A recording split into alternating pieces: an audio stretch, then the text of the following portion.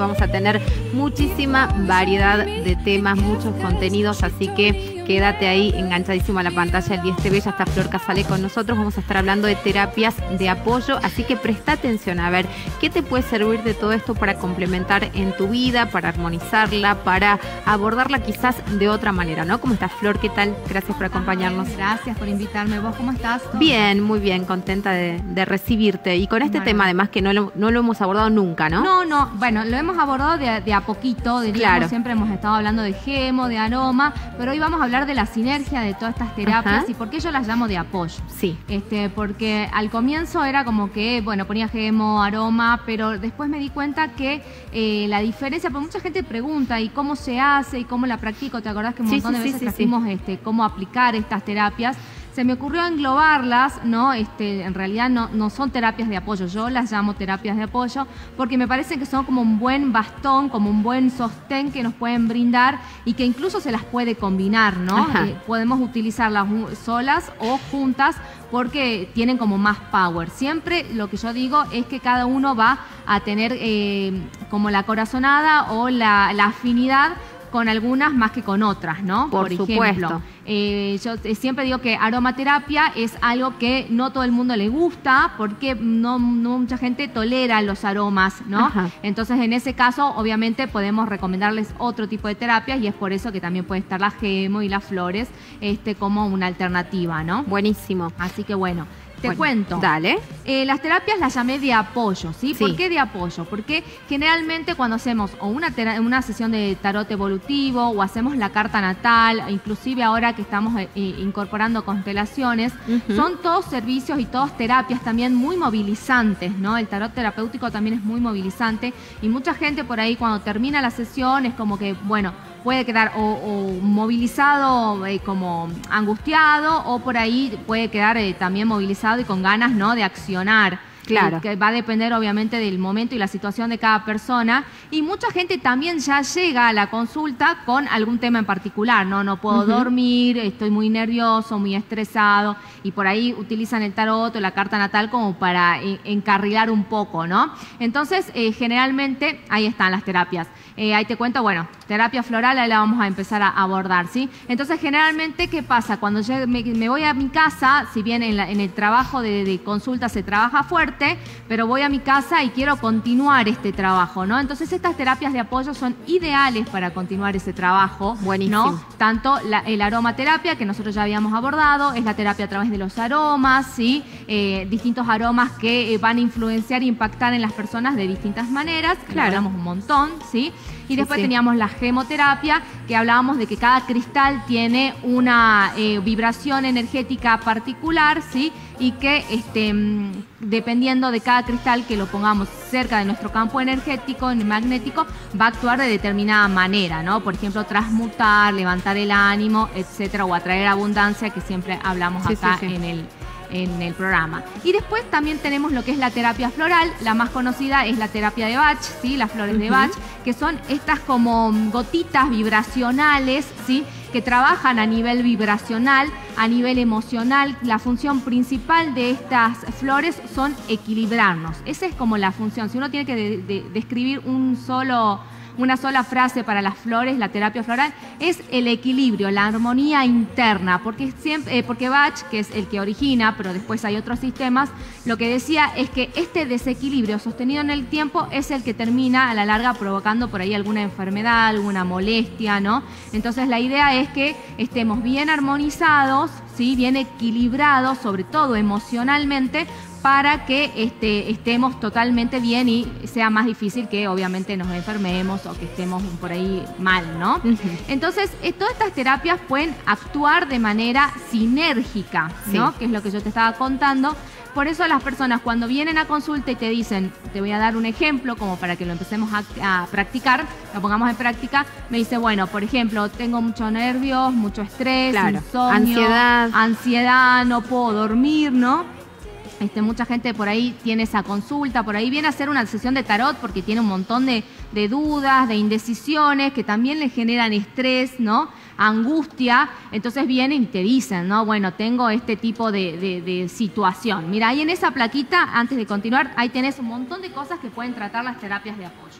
Siempre aclaro que estos son terapias complementarias. Obviamente ninguna de estas terapias puede reemplazar el especialista, ¿no? Claro. Eso es eh, siempre así como para que la gente entienda de que esto siempre se agrega como un complemento. ¿Sí? Por supuesto. Eh, bueno, y todo ese, mira, ansiedad, estrés, insomnio, nerviosismo, tristeza, desgano, cansancio físico y mental, que es tan común ahora, ¿no? En esta época.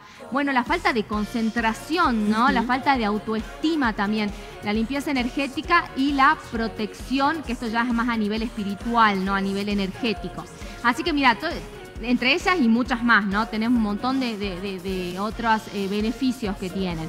Y lo que te estaba diciendo es que, bueno, viene una persona, qué sé yo, hace una sesión de tarot porque está con muchas dudas, muchos líos en el trabajo y necesita por ahí también descansar bien, porque ya saben que si la cabeza descansa es como que piensa mejor, ¿no es cierto? Por supuesto. Entonces, ¿qué se le puede hacer? Obviamente, primero le vamos a hacer una pregunta si quieren hacer alguna terapia de apoyo para, para seguir en casa, porque sobre todo estas te pueden acompañar en casa, ¿no? a seguir el trabajo uno se le puede preguntar qué tipo de terapia, si le gustan los aromas, si le gustan las piedras, no a todo el mundo le gustan las piedras, ¿sí? por ahí hay gente que lo ve como muy inanimado y, no. Claro. Entonces, bueno, por ejemplo, hagamos el ejemplo de que le gusta todo y que quiere hacer todo, entonces hacemos una sinergia, podemos darle, por ejemplo, yo traje acá algunos ejemplitos como para que sea más fácil de entender, podemos eh, darle un aceite de melisa o de lavanda, el aceite esencial que nosotros hablábamos en otras oportunidades. Esto es nerviosismo, ansiedad. Claro, esto es para el nerviosismo para la ansiedad, ¿no? Para relajar, para, calmar, para el insomnio, sobre todo la lavanda es para el insomnio, ¿sí?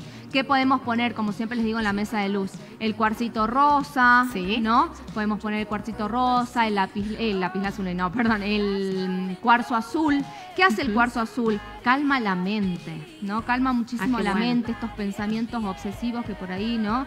Están a, a, full tiki tiki tiki. También hay flor, hay una flor específica para el pensamiento obsesivo, ¿sí? Para cuando tenemos la cabeza que maquina y no da más. Entonces podemos eh, combinar la flor con el aceitito, ¿me entendés? Y podemos combinarlo también con la, la gemo. Entonces, ¿cómo lo pueden hacer? Pueden dejar las piedritas en la mesa de luz, ¿sí? O pueden por ahí llevarlas consigo, ¿sí? ya sea en un accesorio o en una bolsita. Si esto es algo que le pasa recurrente durante el día, esta ansiedad, este, este estrés y no solamente a la noche a conciliar el sueño, ¿sí? Y podemos darle los aceititos, por ejemplo el de lavanda, para que lo ponga en el difusor o en el hornillo para que descanse mejor, siempre un par de horas antes de dormir, ya irlo colocando para empezar a bajar unos cambios, por ejemplo, ¿no? Y si toma flor de las flores se toman en distintas tomas al día.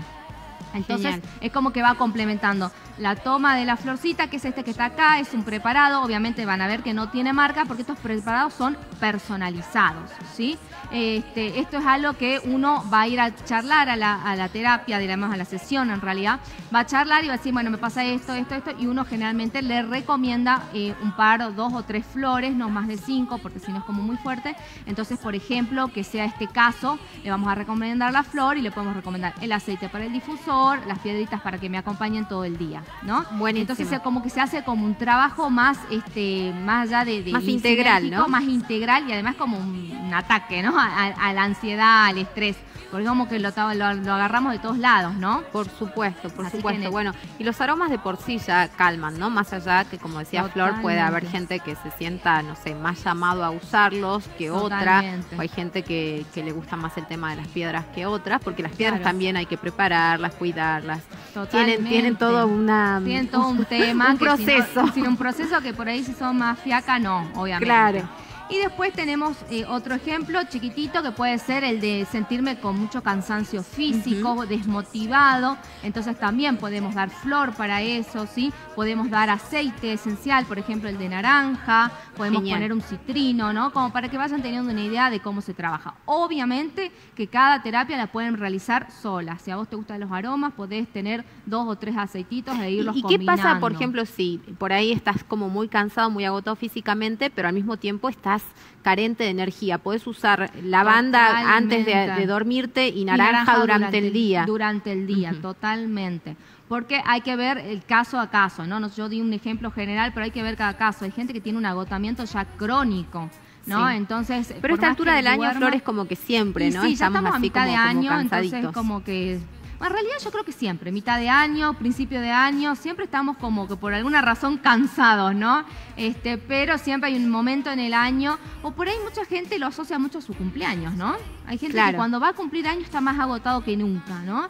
Y necesita como, ¿viste? Bueno, porque están aquellos que hacen esa evaluación, igual que pasa también cuando se acerca fin de año, que empiezan a decir a ver qué hice bien, qué, qué logré, qué no logré. No lo hagan, porque siempre eso es agotador, desgastante y generalmente tiene resultados negativos, así que mejor no lo hagan nunca.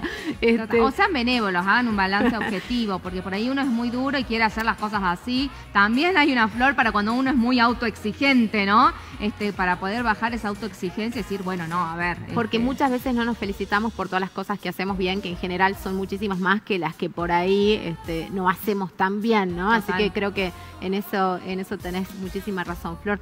Bueno, entonces, todo esto lo pueden encontrar, obviamente, en la tienda de Adularia, además de hacer la consulta, de, tomarse el cafecito. ¿Cómo se llama el cafecito? Cafecito Cafecito, app. Es como un cafecito virtual donde generalmente eh, le hacen una pregunta al tarot, haciendo una pequeña contribución y después yo se las respondo. La mayoría que, me, que, compran los cafecitos virtuales prefiere el WhatsApp, así que yo generalmente les mando. Por ejemplo, el domingo me levanté súper inspirada, les cuento, y les regalé además a los que compraron cafecito el domingo una, un consejito oracular. Sí, generalmente solamente la respuesta del tarot, pero ah, por ahí cada tanto ah, doy ahí un extra, un regalito para la gente que se copa. Generosa. generosa. levántate generosa. Total, y obviamente, bueno, como hablábamos de esto, lo podemos tratar obviamente personalmente, 3875-189-499. Pueden hacer tanto como una consulta de, qué sé yo, terapia floral, como pueden hacer una sesión de tarot y, querer agregar algo para trabajar en casa tranquilamente. Ya saben que en el Instagram tienen absolutamente todo, este, arroba dularia en el Facebook también, obviamente, Adularia OK 1 tienen absolutamente todo para eh, hacer y para preguntarme, así que ahí está, eh, no tienen excusa. Bueno, me encantó. Interesantísimo esto, que puedan también este, usar todas estas terapias que les hemos mostrado, que la complementen, que nunca dejen de ir a su médico, a su psicólogo, a, quien, al especialista con quien consultan de manera permanente. Pero bueno, tienen otras herramientas para ayudarse también que no, no tienen nada de nocivo, ¿no? No, no, para nada. Todo esto es absolutamente natural, sobre todo las flores que son en tomas, en gotas y en tomas son totalmente naturales, la pueden tomar desde bebecitos recién nacidos, mujeres embarazadas, porque realmente no, no son tóxicas, no tienen nada de, de, ficticio, son todas naturales, son plantas, ¿no? Son básicamente flores, esencias de flores, pero eh, no como esencia aromática, sino como esencia vibracional, ¿no? Energética. Así que nada de esto es eh, pernicioso. Igual yo siempre les digo que ante la duda pueden consultar obviamente con un especialista, pero este, esto siempre es un complemento a lo que ustedes quieren hacer, obviamente, si ya hacen terapia eh, o van al médico, y esto es como una... Eh, mucha gente que le gusta lo natural, entonces al, al médico le agregan esto, ¿no? Y es como que se sienten mucho más apoyados, ¿no? Seguro que sí.